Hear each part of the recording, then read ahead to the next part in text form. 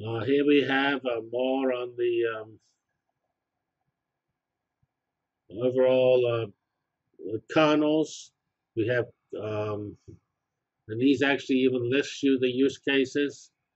Um, so when it says one to five across opposite classic database, uh, which gives one example here, the uh, National Archives, uh, it says that use cases one through five exhibit that. Actually, I think more of them do, but these are just ones I identified. Um, as we'll discuss a little later on, uh, NoSQL is going to be very important, and databases built on NoSQL are growing in importance. So HBase is an important technology here.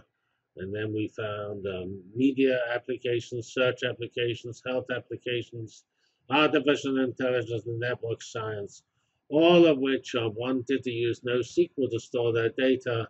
And then they would typically, uh, once they're in a NoSQL database, such as uh, Cassandra or MongoDB, it is somewhat easier typically to apply uh, modern data and analytics, and machine learning to them.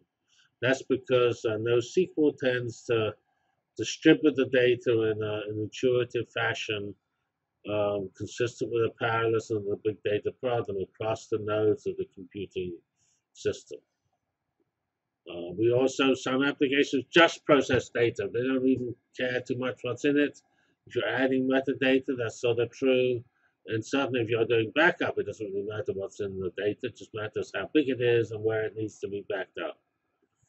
Uh, we've already pointed out GIS, Geographical Information Systems, uh, that's needed whenever you see um, a spatial structure and big data.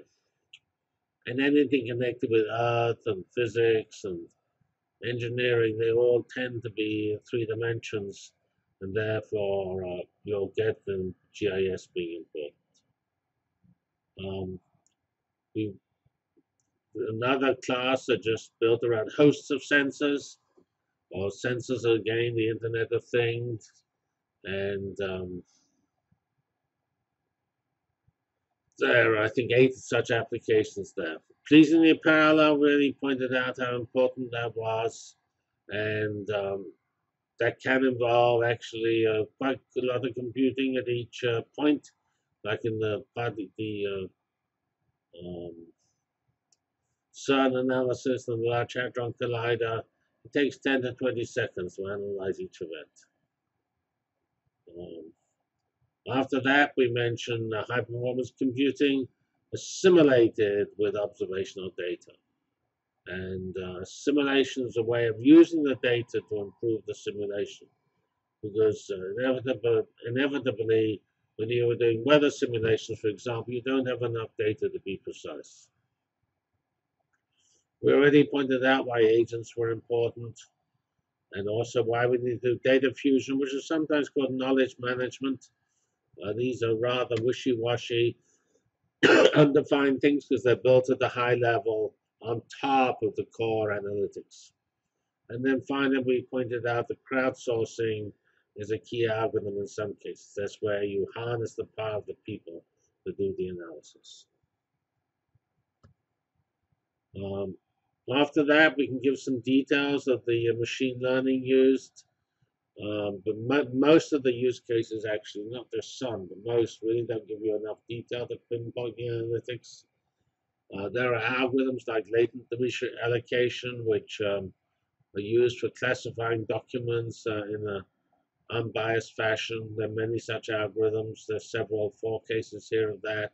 We mentioned ego, large-scale optimization as an important class.